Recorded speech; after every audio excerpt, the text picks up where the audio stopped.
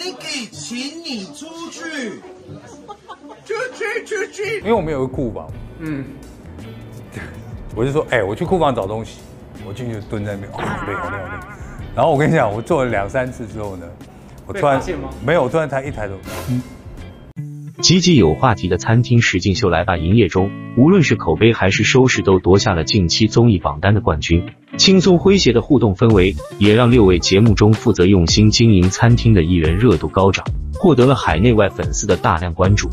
这次就为大家分享五件关于来吧营业中你可能不知道的幕后趣事，看看大家在忙活打理老屋的背后，到底还有哪些独家爆料吧。老吴在试营的这段期间，虽然团员们在多次的协调和磨合中，已经渐渐的培养出了默契，但餐厅的收入还是出现赤字的状况，也是必须在后续尽快解决的棘手问题。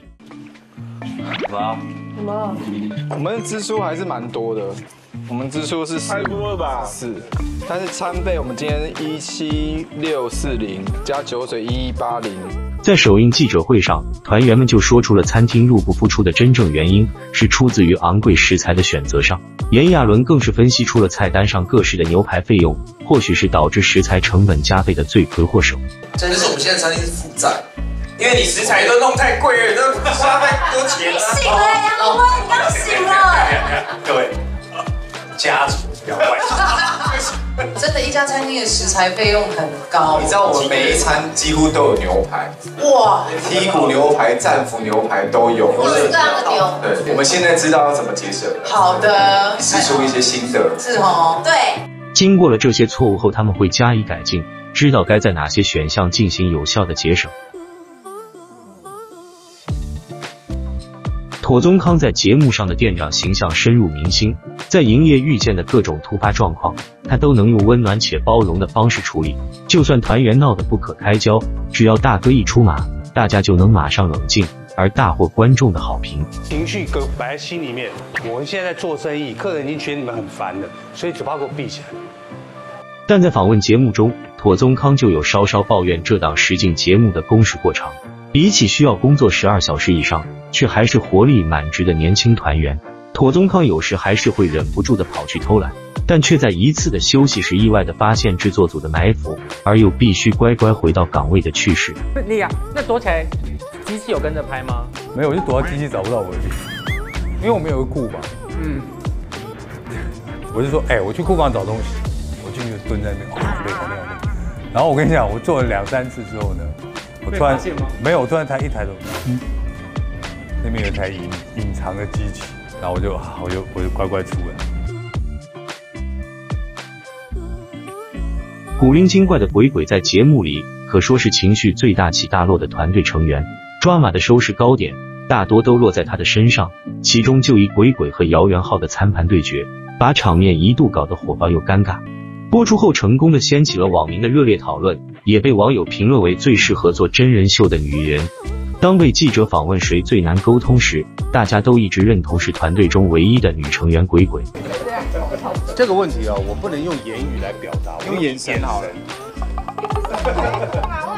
身上就是白色跟橘色的没 有，应该是这样讲，因为呃，他他的个性吧，因为他是狮子座，所以他是很多事情他都直来直往。你年轻的时候跟我一样吧，因为你也是子座。对，然后呢，就是在很多事情上面，就是我觉得在情绪的表现上来讲是比较直接一点。炎亚纶也指出了鬼鬼不管是上哪个节目，几乎都会跟人吵架的谜团。身为当事人之一的姚元浩也当面搞笑开枪，直接拿鬼鬼开刀，让现场大笑，搞得鬼鬼震惊之余，还要连忙为自己辩护。你没有发现他到哪一个节目都会跟人家吵架？吗？为什么就会哭哎？他已经没有梗了，就是剩下这一招。吵架吧？就是惯犯的。不是不是这样子的，真的不是这样子的。这个太太狠这个没有。办法这样子塑造的，我不可能说我现在被你们访问啊，我就说哭，我就哭，我真的没办法，我一定是我的情绪悲伤到点，或者我委屈到点，我才会哭出来。我承认我委屈到一个点，然后字突然变两个。就变腮红了，不 好意思。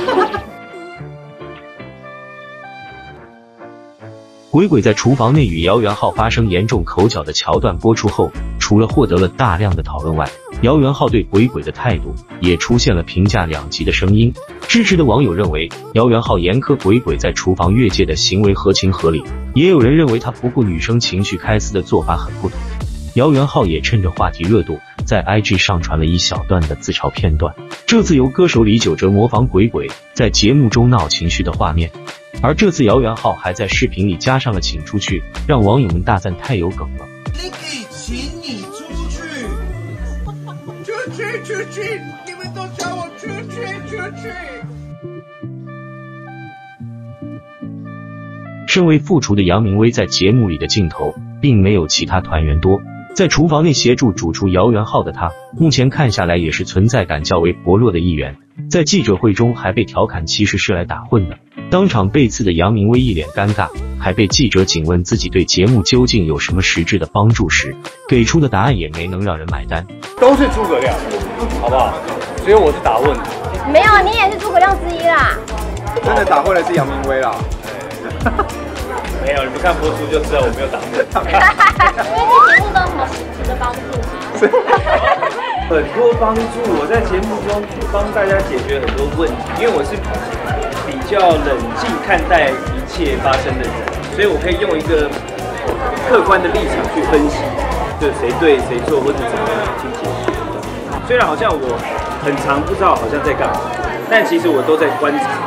而且我真的叫我做事的时候，我也都有做。对你这个完全大智若愚，什么意思？大智若愚你不懂，怎么样做事？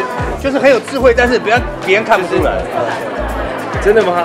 真的看不出来吗？看看起来应该是很聪明的，这才是厉害的、以上就是这次来吧营业中的幕后内容。随着老吴正式开张营业，相信在后续会有更多惊喜，让大家看见艺人们的真性情表现。就让我们拭目以待吧。非常感谢大家的收看，如果喜欢记得订阅、按赞和分享，我们下个影片见。